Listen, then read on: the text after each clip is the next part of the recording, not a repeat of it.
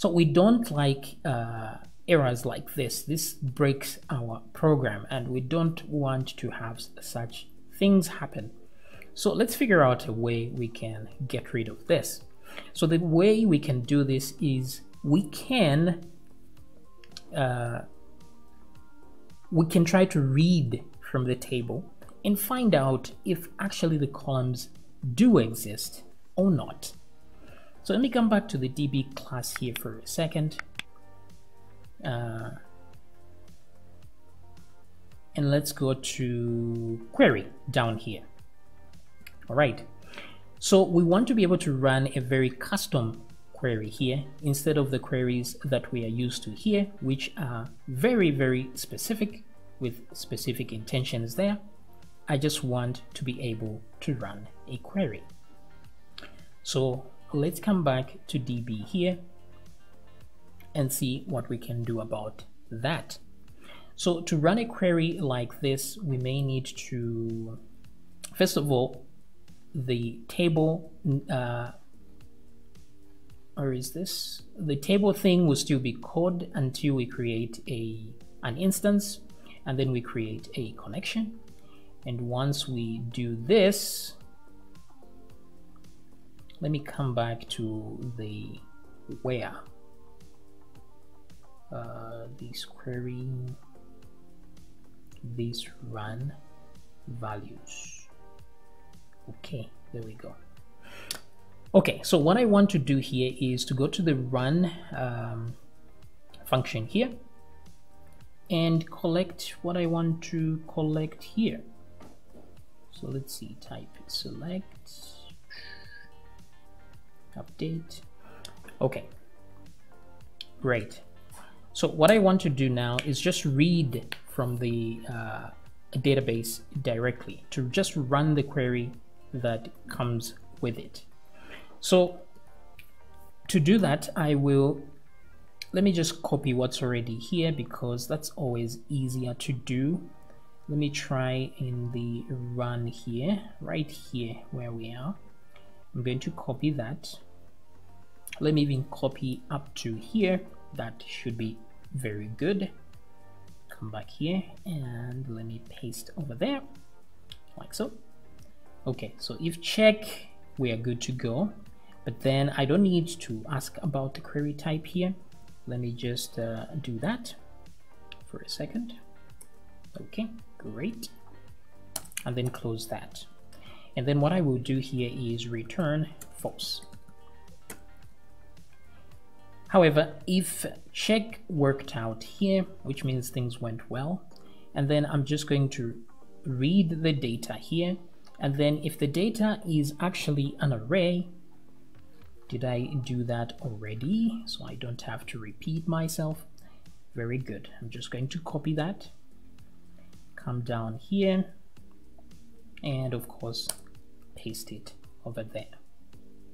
Very nice.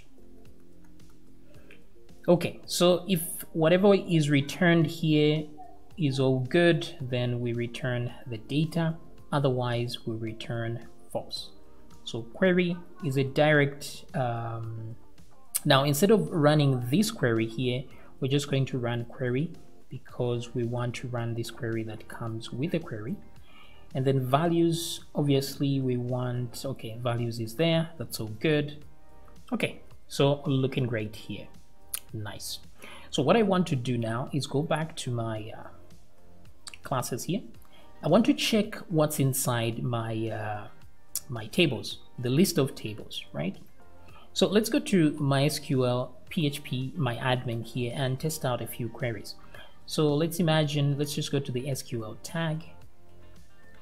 And then I'm just going to say select um, columns from users. I don't know if this query will actually run, but let's go. Oh, sorry, I don't know what columns are.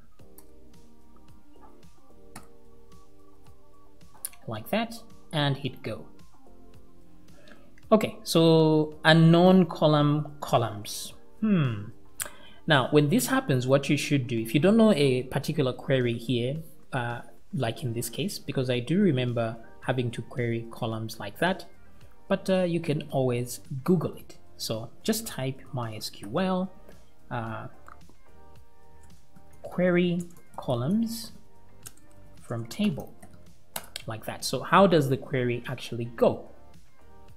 Okay, so retrieving data using select, no, get table column names, very nice. So Stack Overflow is always uh, a joy to work with because usually when you have a problem, somebody already answered that question.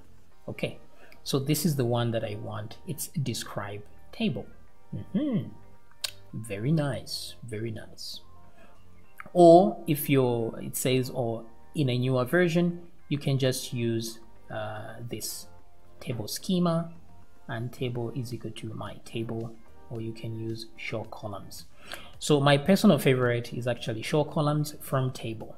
That's the one I normally use, but I went through this route just to show you how easy it is to figure out something you don't know if you have the internet. Because having the internet is like having every human's brain at your fingertips. So let's come back here and let's run that particular query. Let me go back here for a second. So instead of select, it's going to be show columns from users. Let's see that. Okay, so now that we run that query, we get what we wanted. So we have a field and we have type, we have no, and so on. So the one that I want is field here. So that's how it is, it's field. So I need to check if all the in the fields, the column I'm looking for actually exists. So to come down here, I'm just going to say check if column exists. Okay, so let's check if the column actually exists. And how do we do that? I'm going to do that by running this query right here. Let me just copy up to here and paste there. So I'm going to do this. Instead of return, obviously, I want to save that to, um, I really don't know what to call this one, but it's entirely up to you. I'm just say check because we are checking for something. And then I know it's the users table. So still, I'm just going to do that just for the purposes of initializing the function in the database, creating an instance. And then once I'm done with that, I'm going to go to query like so, and then actually run the query. So what query will I put here? I'm going to say show uh, columns from users like that. Okay, because this is the users class. So everything we are querying is from users. Even though we already have that, that's just for formality, and then we'll query that. Now, check is going to contain something. So what I will do is, in this case, is I'm just trying to print readable what I get from there, right? Also, I'm going to echo some pre-tags so that at least the visibility is good for the results. Okay, so let me come back here and let me refresh.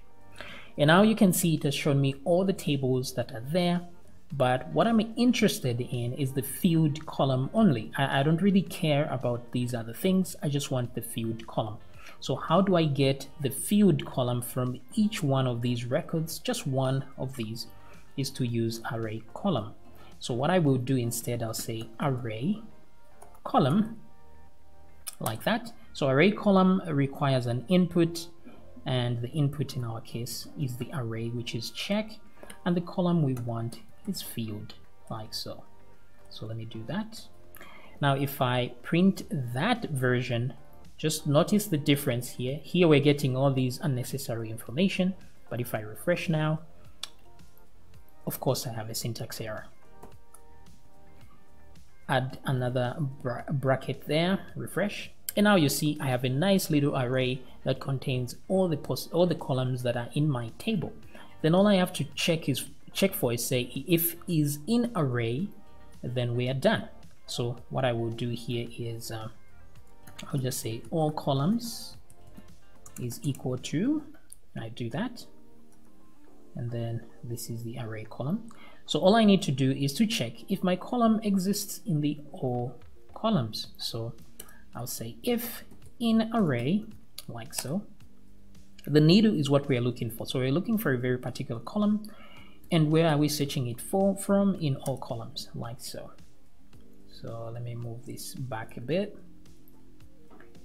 Put those in there. So if in array, which means everything is all good, then return the data like so, because it means everything is good. Otherwise, let's return false, because if we don't say return false, it's going to return a no value. Okay, so doing that now, let's refresh our page. Okay, line 61, unclosed bracket somewhere. Where is that? What's happening? So I think I have a missing bracket somewhere. Now these are usually a pain to find because normally you don't know what wrong you have done. Okay. Let me check the error again. Unclosed bracket on line 53 does not match the bracket on line 61. Okay. So let's go to line 53, which is this one.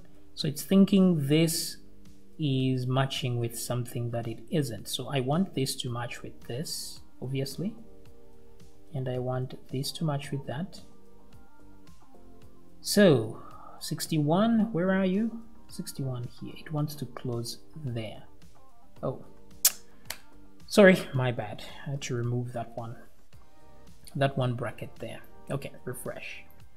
So now as you can see here, we've returned false, even though we are asking, here we're asking to get by username one, which does not exist.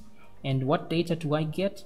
Now let me change from print r to var dump so that I actually get the data type that is being returned. So if I refresh, I get a boolean of false. So I know that that didn't go well.